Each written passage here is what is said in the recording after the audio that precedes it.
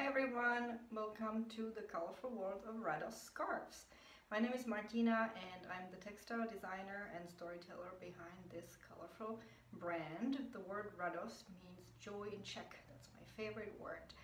Um, I'm doing a series of videos to introduce you to all of my design work. Um, what I do is storytelling. I use original artworks, my paintings, and my photographs to create patterns that all hold a story, a meaning. Um, today's story will be about a scarf I actually designed with my little six-year-old niece in Prague, Czech Republic, when I went there on vacation last summer.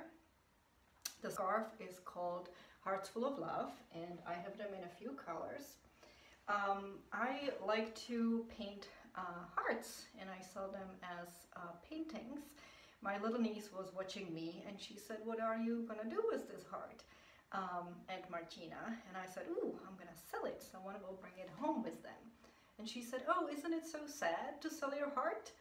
And uh, I was like, wow, that's a big question. Why don't we do something with the heart that you really like? So we took a picture of my painting and she and I uh, worked on the computer together next to each other and she was telling me the colors and the color combinations she was really interested in.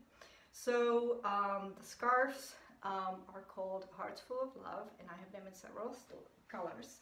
Um, this is the original one. Um, these are pink hearts on a black background and the story really um, behind this collection um, is all about family and spending time together and just kind of all of the fun things that can happen when we are together. So um, that's the story behind today's scarf. I hope you enjoyed it and I hope you will join me next time. Bye bye.